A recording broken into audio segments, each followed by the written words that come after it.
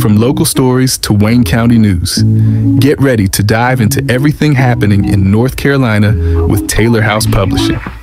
Got a story to share? Shoot us an email at taylorpublishinghouse at gmail.com. If you're looking to publish your book or need some top notch mentorship, we've got your back.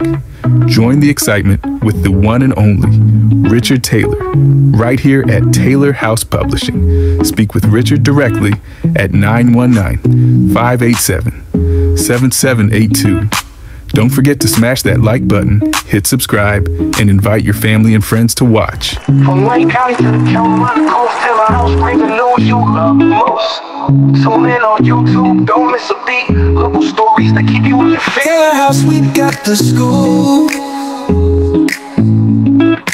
Taylor House Publishing. Peace and blessings, peace and blessings, peace and blessings. Uh, all praises due to the Most High.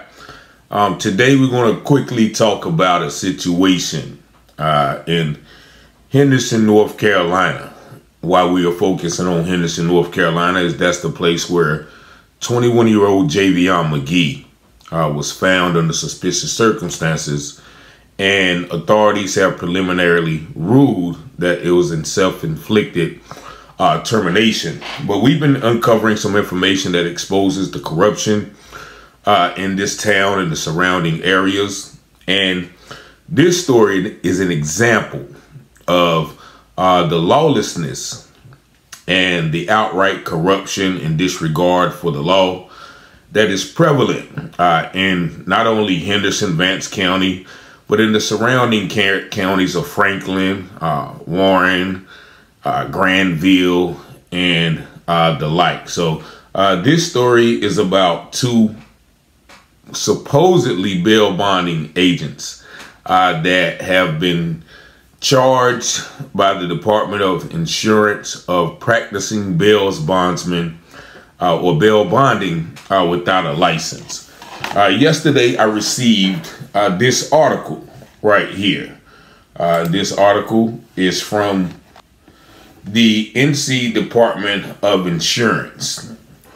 And there you see uh, this article says two Vance County men charged with acting as a bail bondsman without a license, breaking and entering felonious restraint and simple assault. And as you see the article reads, uh, the North Carolina Insurance Commissioner Mike Causey today announced the arrests of James Otis Perry of Henderson and James DeCarlo Austin of Henderson.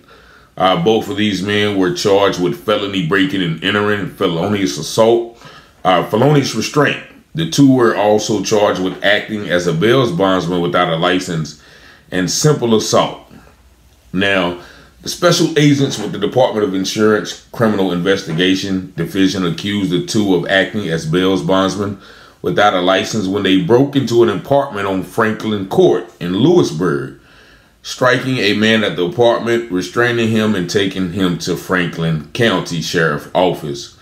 Uh, the offenses occurred on August the 21st, approximately two months ago. Uh, the two were arrested on October the 14th. Special agents arrest expect to arrest an additional person in the case.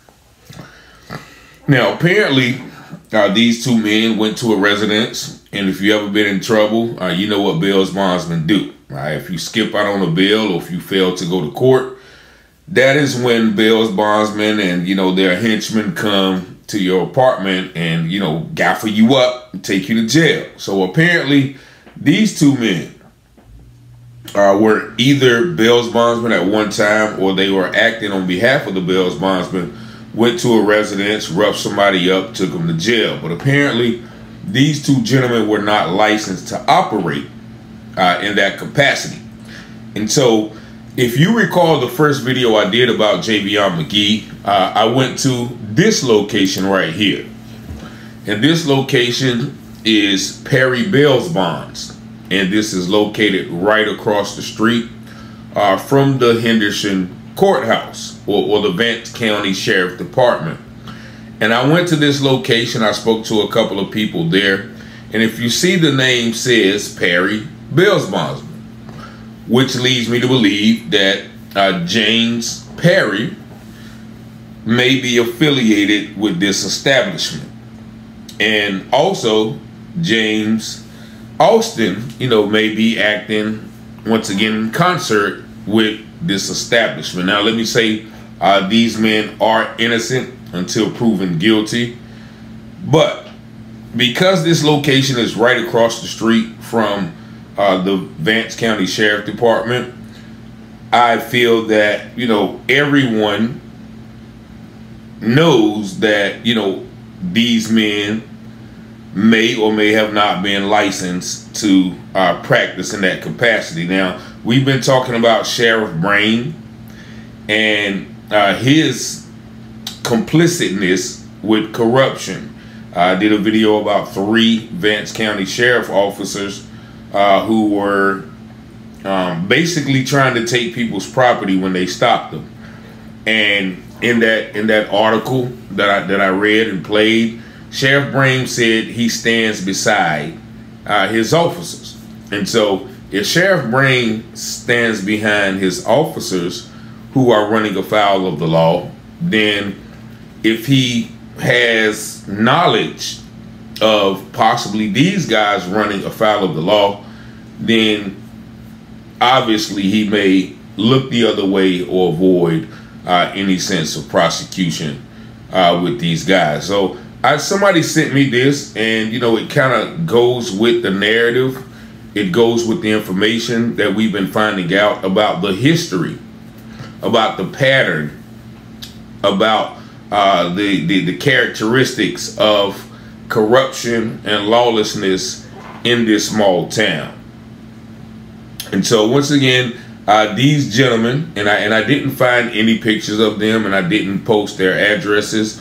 Uh, as you know, a video was removed from YouTube uh, last night uh, concerning uh, the threats that I uh, was receiving from an anonymous number. We looked up the number and some addresses and names came up. So I didn't put the names, or excuse me, I didn't put the address of these guys because I didn't want this video removed. Now, if you have any information about Mr. James Otis Perry, and Mr. Uh, James Austin, uh, then feel free, James DeCarlo Austin. And, you know, I looked up a couple of names on Facebook.